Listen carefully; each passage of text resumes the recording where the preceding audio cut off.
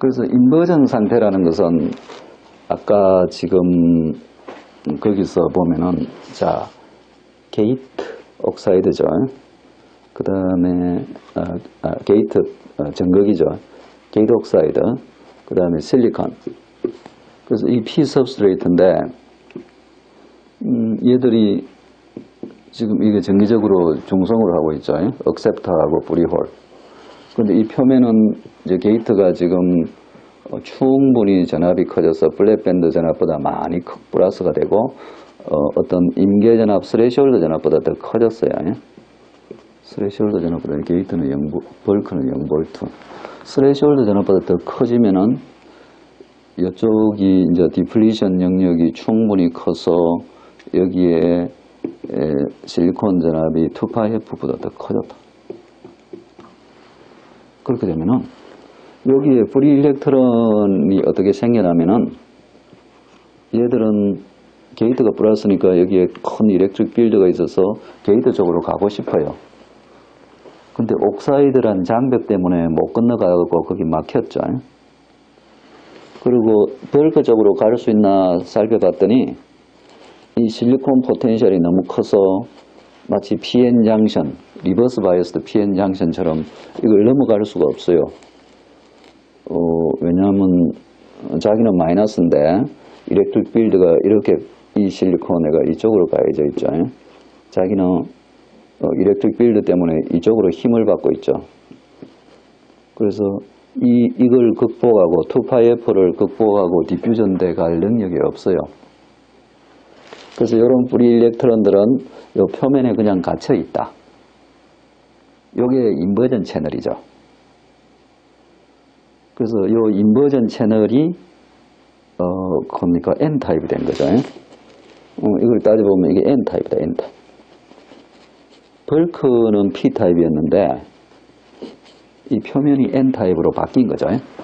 그게 채널 인버전이다. 그래서 채널 인버전을 이용하면은 어 그게 저기 어 우리가 소자들이 정기적으로 격리가 되죠. 그러니까 무슨 말인가 하면은 자 아까 처음에 얘기한 대로 요 NMOS가 있었어요. 그리고 N 플러스는 어디 있는데 P sub죠.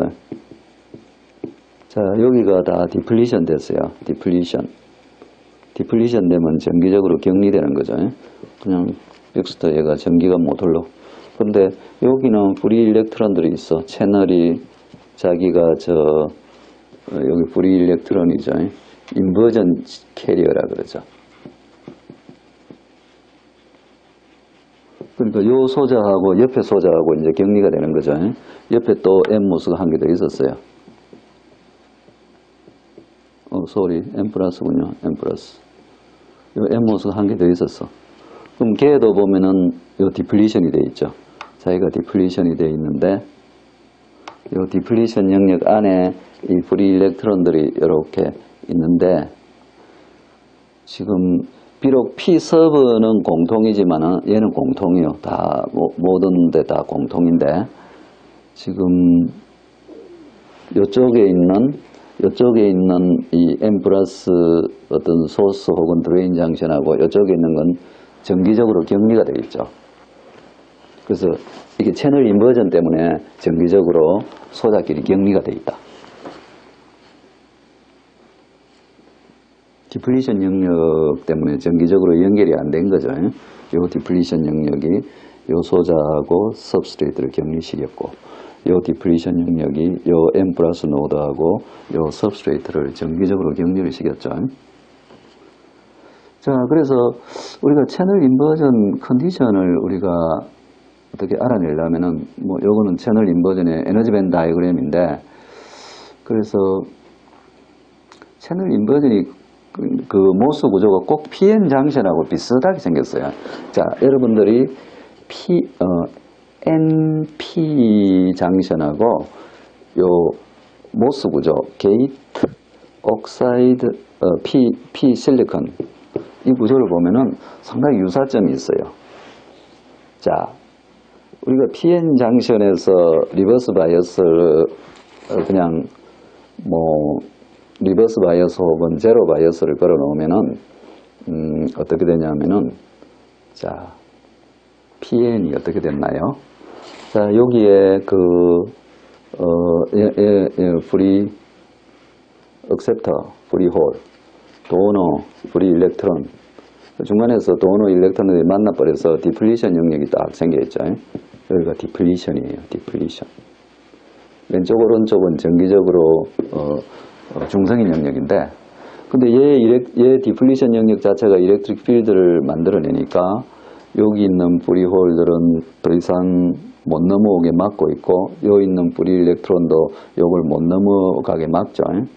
그 막는 게 요, 요거 이- 이 실리콘 전압이 2파이F가 되면은 서로 diffusion 못 되죠. 어, back bias 걸면 여기다가 더, 더 마이너스가 되면 더 2파이F보다 더 커지면은 어, 얘들이 도저히 못 넘어가죠. diffusion을 못 한다. 그래서 못하니까 얘들이 이제 가만히 있죠. forward bias 걸면 이 barrier가 낮아져 가지고 forward bias 걸면 이 barrier가 2파이F 빼기 VD VD가 플러스면은 어, 얘가 많이 낮아지죠.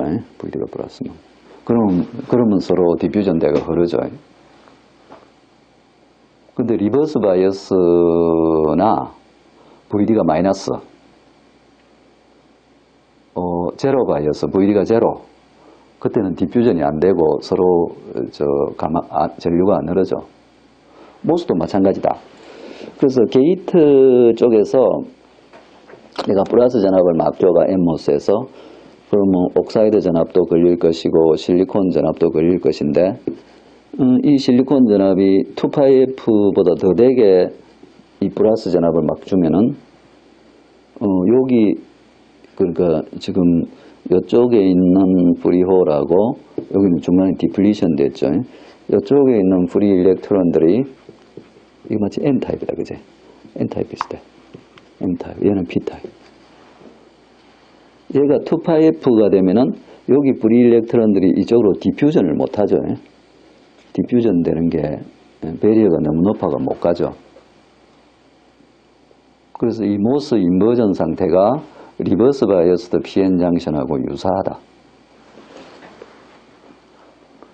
그래서 이 채널 inversion 상 threshold condition이 어, 떻게 되냐면은 그 2 phi F를 만들어내는 거예요. 자, 자 지금 게이트 oxide 어, 실리콘 자, 지금 어, 게이트 벌 어, 이 P 실리콘이 0볼트에 가 있다 쳐요. 0볼트. 게이트 bulk 전압이 threshold가 되려면 스레, inversion이 되려면 inversion 조건 채널 inversion이 되려면은 실리콘 전압이 2 phi F보다 크면 예, diffusion을 막아서 inversion을 시켜 놓는 거죠. 그래서 지금 얘 얘가 bulk다. 얘가 VGB. 그러면 이게 oxide 전압 빼기 실리콘 전압인데 그게 이제 flat band 상태에서는 얘 다 0이에요. flat band 상태. 그래서 이렇게 되죠.